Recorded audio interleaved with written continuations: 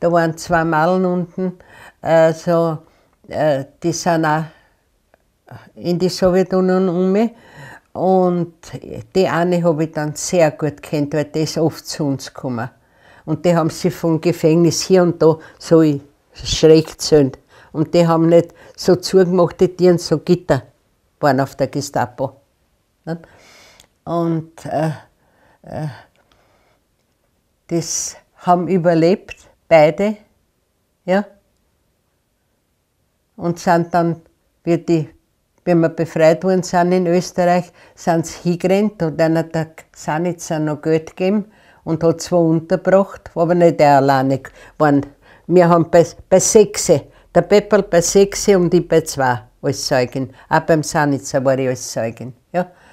Und äh, also jedenfalls äh, äh, sind die sofort zur russischen Kommandantur gegangen und haben sich gemeldet weil als Österreicherinnen hätten sie ja nicht ausspringen dürfen. Die müssen die russische Staatsbürgerschaft annehmen.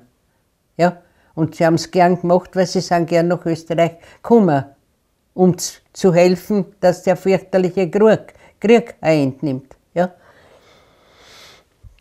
Und die haben es nach Russland gebracht. Eine hat acht Jahre Gulag gekriegt, die andere zehn Jahre.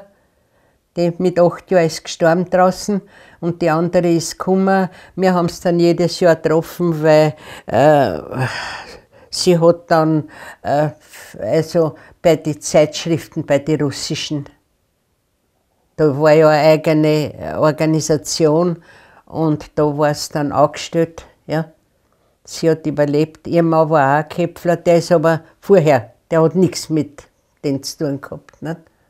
Also es gibt schon schlimme Dinge, furchtbare. Ja.